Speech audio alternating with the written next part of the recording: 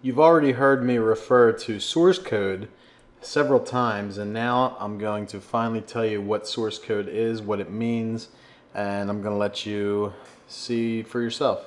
So, what is the source code? I'm about to answer that, but before I answer it, how to navigate the code. Remember, there's a control button. If you look for CTRL on your computer keyboard, it's in the lower left hand part of the keyboard, uh, pretty close to your space bar. It also should be right underneath your shift key. It's a little bit different on everyone's keyboard. Look for that control button, hit control and F at the same time, and you'll be able to isolate certain parts of the code.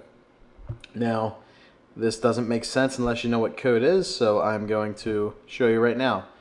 Remember the My Website folder? Well, let's open that up, and let's look at the index page. Now, we're looking at the index page the way most people are going to look at it, but there is a different way to look at this page. So if we go up to the browser and select View, and we go down to Source, the source code comes up, and you'll see that it's all this funky looking text, and this is the actual code for the web page. This is what the web page looks like in hand code and this code makes up this page right here. So the idea is how can we edit this? Now if you just look at this and you don't know anything about hand coding, you're like that looks like a mess.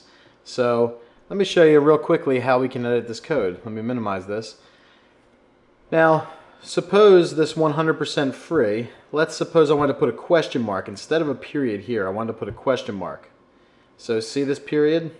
I'm going to put a question mark there. So how we do that is we see that this period comes right after 100% free. Now if you look at this page, you don't see the word free before it is right there. So I'm going to search the code for free. So I just click on the cursor at the top. Now I hit Control and F and this is going to pop up. That's why I told you Control plus F. Control plus F means hit Control F at the same time. Control and F and then this box pops up we're going to type in free and we're going to hit find next and you can see it highlights free in blue. Now we look for the period that happens after free and we have this little bit of code here but then we have a period. So I'm just going to change that to a question mark and I'm going to go up to the file and I'm going to hit save as and since this is an HTML we want to allow it to say all files and we want to save it as the index file. So if I click on index, double click on index, it'll say, do I want to replace it? And I say yes. I go back to my index here, and I can hit refresh, and it'll show the change. Now it's a question mark.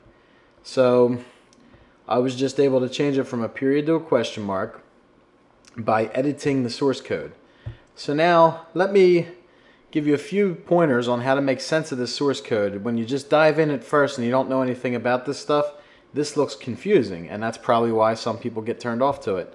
But I will show you how to make sense of the source code in the next video. So I'm going to break it down into its simplest form, and you're going to see how tags work and how the source code is just a conglomeration of tags.